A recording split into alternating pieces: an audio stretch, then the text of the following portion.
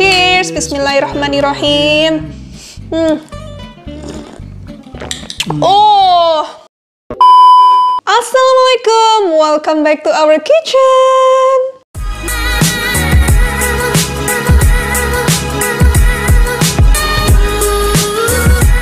Hai semua, apa kabar keluarga onlineku? Semoga kalian sehat di mana pun kalian berada. Hari ini aku mau nempati janji aku ke teman-teman semua untuk nunjukin ke kalian gimana caranya aku bikin susu almond sendiri di rumah. Hmm, pokoknya ini bener-bener gampang banget cara bikinnya dan nggak pakai uh, terlalu banyak bahan-bahan teman-teman. Oke? Okay? Nah, di sini aku sudah punya almond dan almondnya ini sudah aku rendam dari semalam. Jadi biasanya aku tuh ngerendam almondnya kayak satu hari sebelumnya, minimal 12 jam ya. Kalau misalkan kalian nggak punya banyak waktu, kalian bisa rendam kayak sebelum uh, tidur, terus uh, keesokan harinya kalian bisa langsung aja bikin susu almondnya. Nah, berhubung uh, hari ini aku sudah selesai um, olahraga tadi dan aku udah ganti baju, udah mandi, dan Bang Daniel juga baru aja selesai meeting, kita berdua siap-siap um, mau sarapan teman-teman. Di sini aku sudah punya overnight oatmeal yang kemarin aku bikin ya.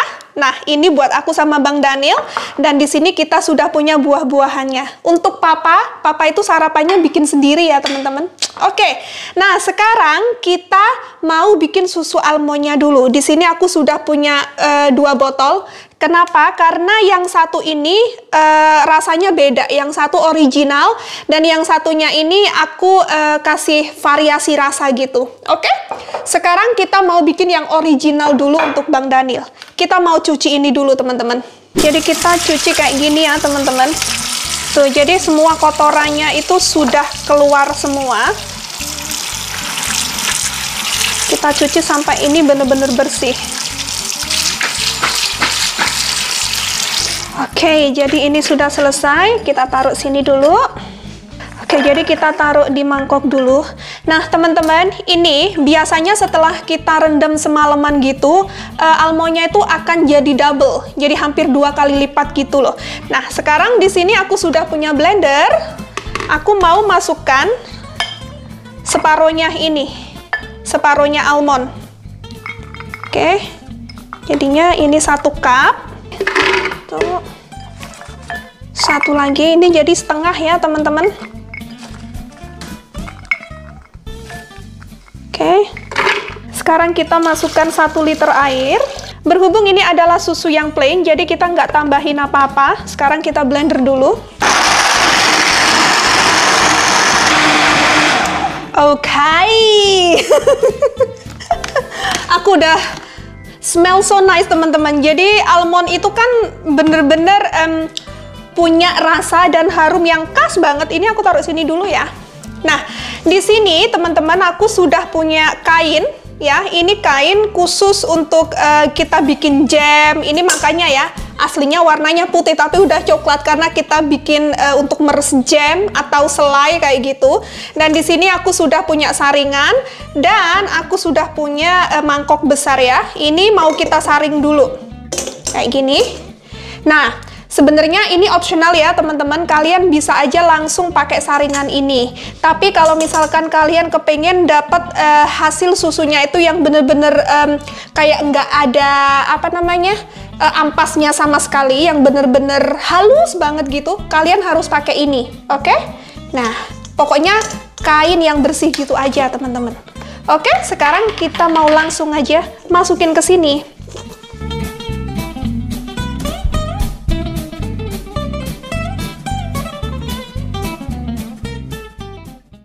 Nah ini airnya sudah netes semuanya teman-teman dan sekarang kita mau peras ini. Oke karena ini masih banyak mengandung air ini. Tuh. Ini tangan aku udah bersih ya teman-teman.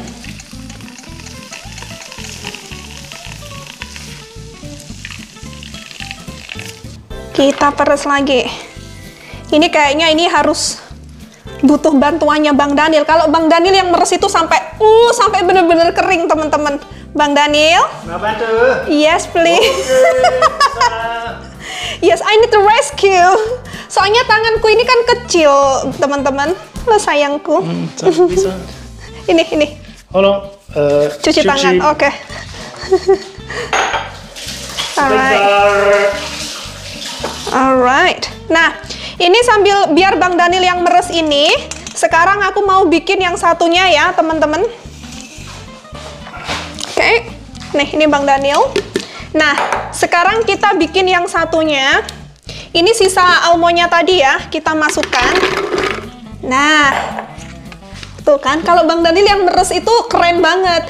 Nah, teman-teman kalau punya aku ini, um, punyanya Bang Daniel kan original. Kalau punya aku, aku mau tambahin dates, kurma teman-teman. Tuh, jadi pemanisnya aku pakai kurma. Aku pakai dua biji aja kalau menurut aku udah manis. Tapi kalau misalkan teman-teman kepengen kasih gula, silahkan ya. Ini pemanisnya aku pakai kurma biar lebih sehat aja sih.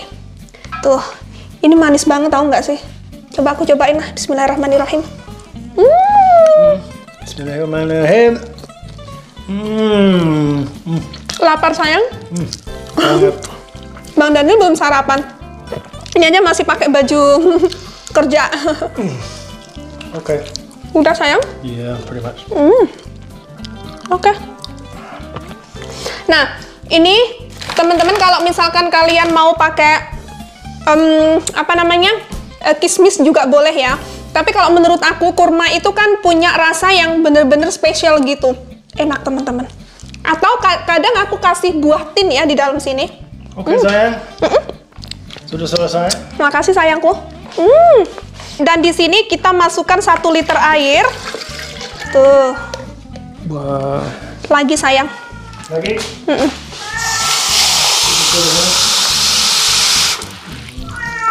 Alfi apa? Alfi tuh kalau ada Bang Danu kayak gitu. Nih. Oke sayang, blend. Blend. Kita blender lagi teman-teman. Apa? Top. Mana? Oh iya. Nah, selagi Bang Daniel blender itu aku mau masukin ini. Nah, kalau punyanya Bang Daniel ini bener-bener nggak nggak di apa-apain teman-teman, cuma kayak gini aja. Oke? Okay?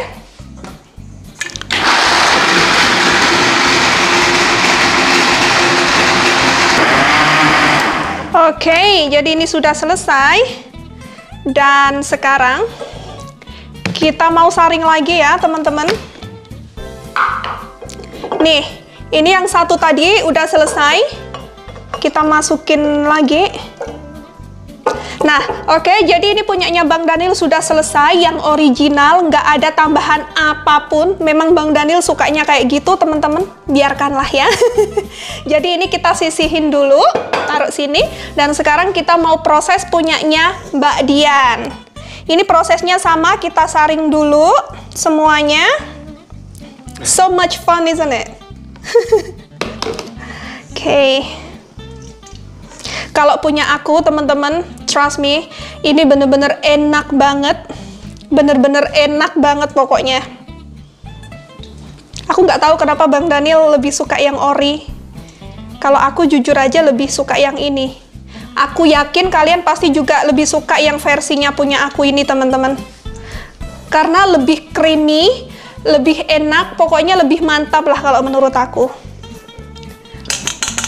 Oke, okay, jadi ini sudah selesai dan sekarang kita peres memeres dulu.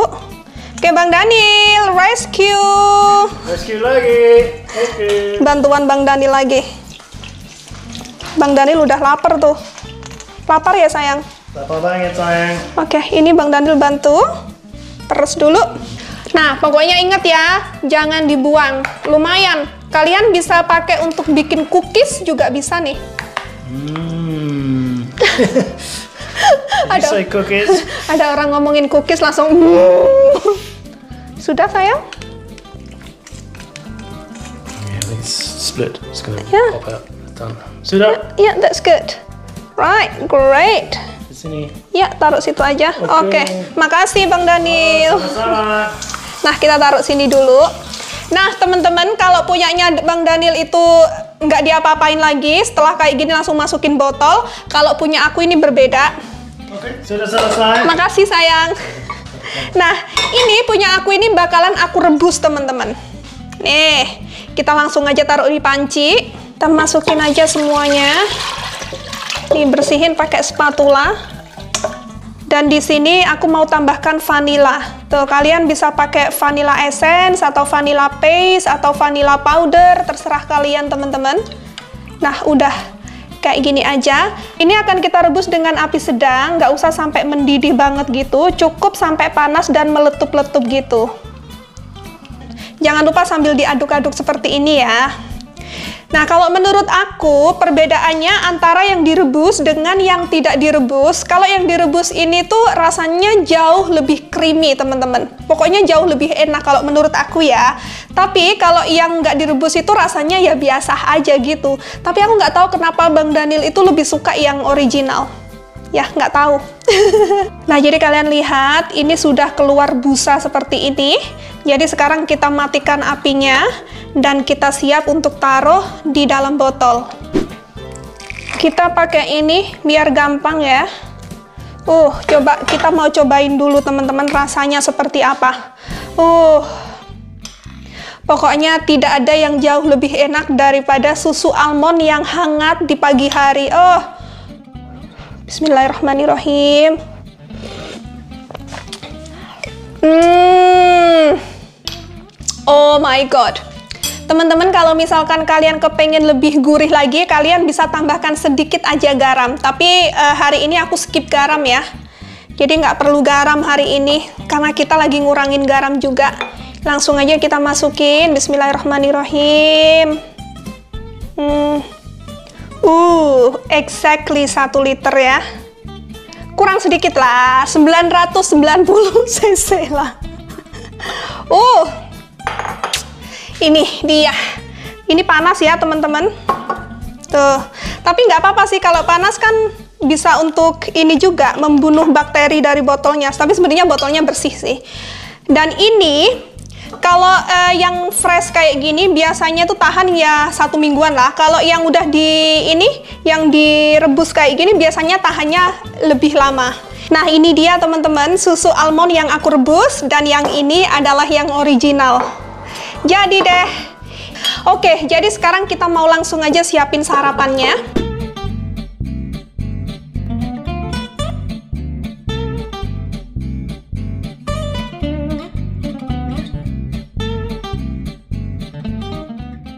Oke teman-teman, jadi sekarang kita mau langsung aja sarapan. Hmm. hmm. By the way, hari ini tuh mendung ya teman-teman, hujan dari tadi. Ini panas sayang, hati-hati sayang. Iya. Sini. Minum? iya. Uh, mau minum. Enak kan ya, mendung-mendung, dingin-dingin, terus minumnya itu susu hangat teman-teman. Panas sih, bukan hangat. Bukan hangat lagi, panas. uh, super fresh. Oh, oh, smells so good. Baunya enak banget teman-teman. Mantap sayang, taruh sini ya sayang ya. Hmm. Coba kita mau coba dulu nih susunya, try sayang. Cheers, Bismillahirrahmanirrahim. Hmm. Oh, enak. Try this one sayang. Ya. Iya oke. Tawar. tawar. Ini tawar nggak ada pemanisnya.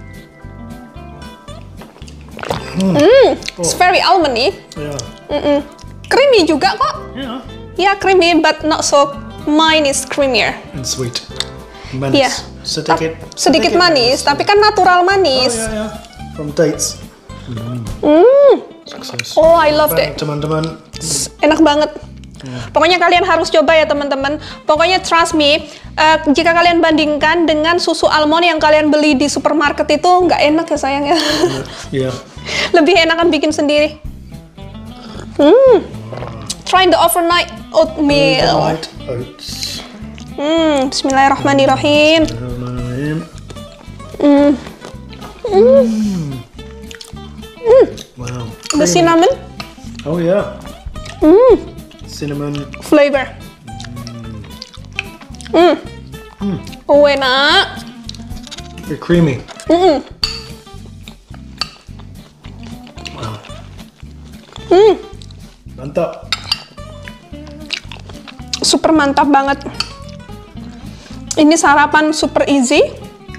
Breakfast super easy and tasty. Yeah. Mm. Breakfast with the Barras. mm.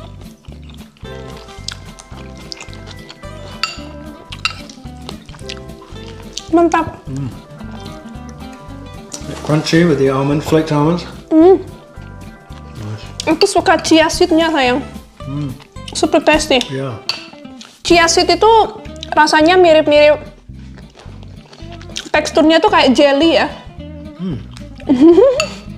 With a crunch, crunch of jelly. Dan super sehat banget teman-teman. By the way, aku sama Bang Daniel udah lost Is it one kilo already? Iya. Satu kilo. Bang Daniel udah satu kilo dan ini baru satu minggu dan aku udah sekitar 900-an gram jadi aku nggak sampai satu kilo He was a bit slower than me.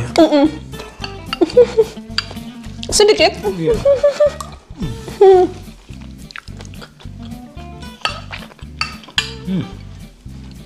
oh I love al- almond milk I loved it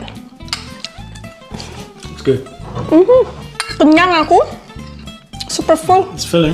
It means you don't. Also, with the oatmeal, you don't get hungry until quite a long time after. It's a slow digest. Mm. Good.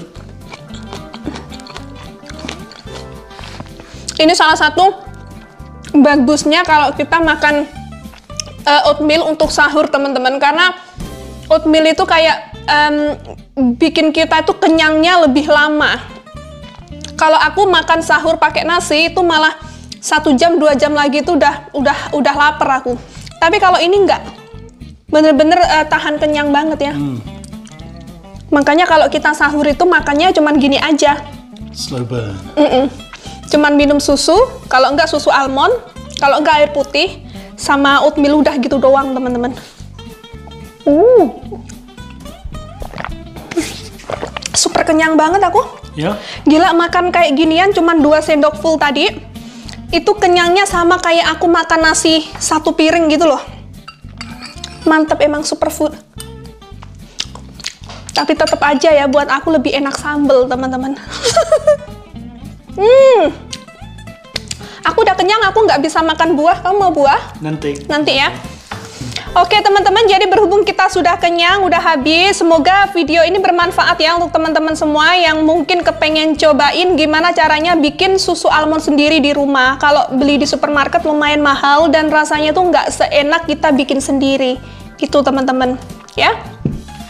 Jadi kita harus sudahi dulu video kita kali ini. Terima kasih banyak buat kalian semua yang sudah selalu setia nemenin kita ngapa-ngapain online. Jadi kita akan ketemu lagi di vlog kita berikutnya. Thank you so much for watching. See you next time. Bye. Dadah. Bye guys. Semangat ya yang diet ya. Bye.